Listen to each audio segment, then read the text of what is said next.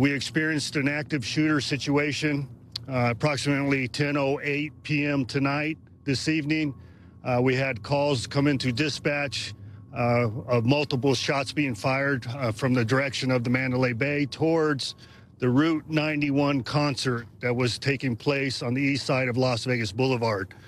Um, through investigation and response, we determined there was a shooter on the 32nd floor of the Mandalay Bay. Um, officers responded to that location and engaged the suspect at that location. He is dead currently. Uh, he has been identified. He is a local resident.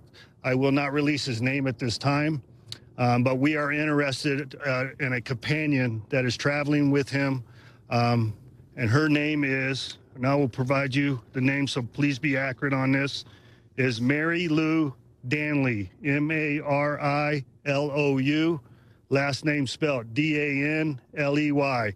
Uh, she is a uh, Asian female, approximately 4'11, 4 foot 11, uh, weight of um, 111 pounds.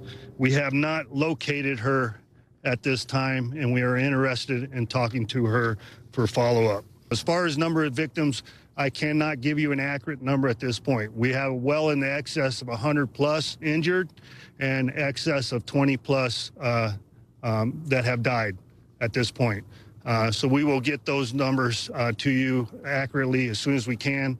Um, but please bear with us. This is an ongoing investigation, um, but we are comfortable that the primary aggressor in this event is um, has expired or passed away and uh, is no longer a threat.